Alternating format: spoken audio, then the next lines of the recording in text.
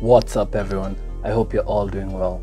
Now, you've probably been using WhatsApp for a long time, but that does not mean you've discovered everything it has to offer. In this one, I'll be showing you some WhatsApp tips and tricks that you probably didn't know about. With that said, let's get on with the video.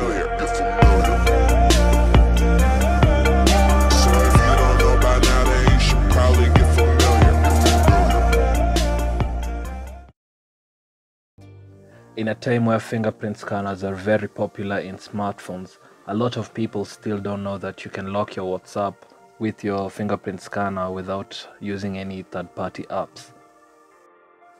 In 2019, WhatsApp rolled out an update which adds an extra layer of security for its users on both Android and iOS. The feature only works in select devices, so if your phone has a fingerprint scanner, you should be good to go.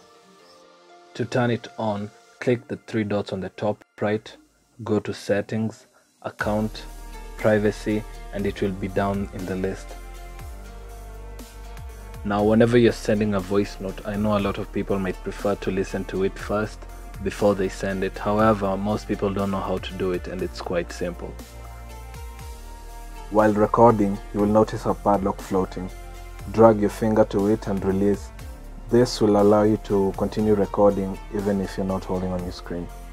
Once you're done recording your voice note, you need to click back and then go back inside the conversation. You will now be able to listen to your voice note before you can send it. WhatsApp has a media visibility feature. It allows you to hide or show WhatsApp media content in the gallery. To turn it on, you'll need to enter the specific chat which contains the media you want. Click on the profile of the person and you will see the media visibility option.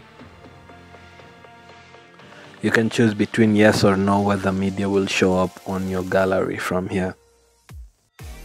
If you have ever wanted to read a message that was previously deleted, I'll show you just how you can do it in very simple steps. The first thing you'll need is to download a third-party app called WAMR. I'll leave a link for it right under that like button. Now this app will allow you to retrieve deleted messages and media and other than that you can also use it to download uh, WhatsApp status. When downloaded and installed, set up the app and whenever someone deletes a message you will instantly get notified and you can retrieve the messages from within the app. You can easily transfer files between your PC and your phone. All you need to do is create a WhatsApp group, add a random password, preferably friends or family, kick them out of the group, and you've created your transfer space. Next up, you need to open WhatsApp Web on your PC, scan the QR code with your phone, and you'll have synchronized your working space with both your PC and your Android phone. Anything that is sent to your group will now be accessible from both your PC and your smartphone. To send anything from your computer, you can just open the folder where the file is located, drag it and drop it on the group chat window. Here's a little bonus for those who have made it this far into the video. You can hide your read receipts or blue ticks on WhatsApp by clicking the three dots on the top right, going to accounts, privacy, and then selecting read receipts.